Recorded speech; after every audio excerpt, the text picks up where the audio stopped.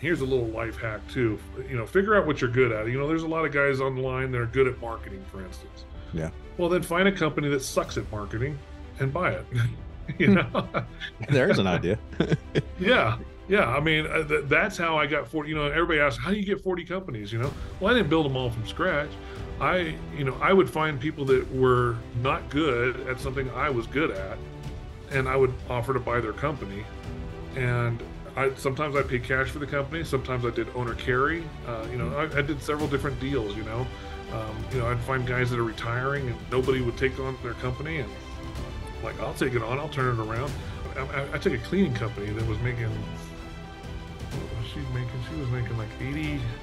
I think that last year she left, she was making like eighty six thousand was her was her Hmm. take home. Yeah. Wow. And I took that over a million dollars in less than a year.